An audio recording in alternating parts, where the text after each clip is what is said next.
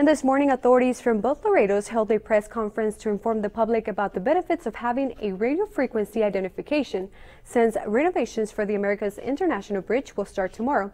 Jasmina Trevino has more.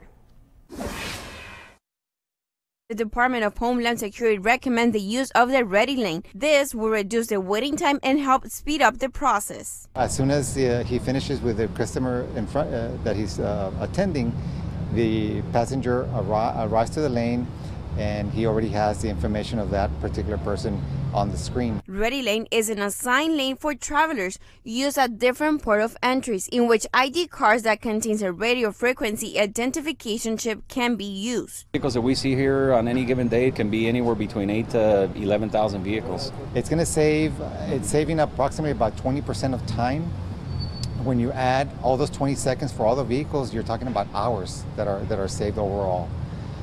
This project is expected to start tomorrow at 10 p.m., meaning all traffic will be rerouted to bridge number 2 and bridge Colombia. Bridge number 1 will only be open for pedestrians and cyclists. As part of this project, authorities from Nuevo Laredo and Laredo are working together to inform the public about the closure of the bridge.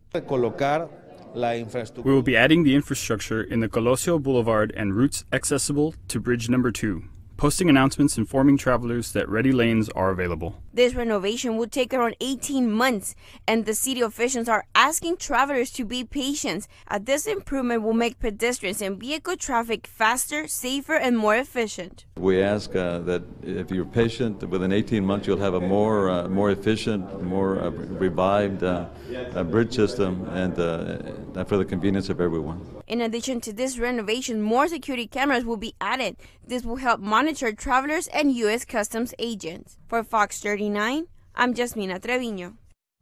Thank you, Jasmina, for this information.